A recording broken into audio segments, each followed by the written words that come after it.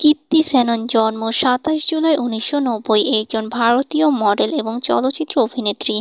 মডেলিংয়ের মাধ্যমে মিডিয়াতে আগমন করার পর তিনি সুকুমারের তেলেগু চলচ্চিত্র এক নেনক্কাদিন অভিনয়ের মাধ্যমে চলচ্চিত্র আত্মপ্রকাশ করেন।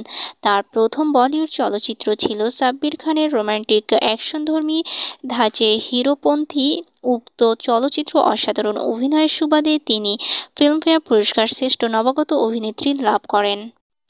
তার অভিনীত চলচ্চিত্রের তালিকা হল নেনক্কাদিন দু হাজার চোদ্দ, হিরোপন্থী দু হাজার চোদ্দ, দোসাই দু হাজার পনেরো, দিলওয়ালে দু হাজার পনেরো, রাপ্তা দু হাজার ষোলো বারেলি কি বরফি দু হাজার সতেরো, লুকাছুপি দু হাজার উনিশ, কলঙ্ক দু হাজার উনিশ, হাউসফুল চার দু হাজার উনিশ, মিম, মিমি দু হাজার বিশ।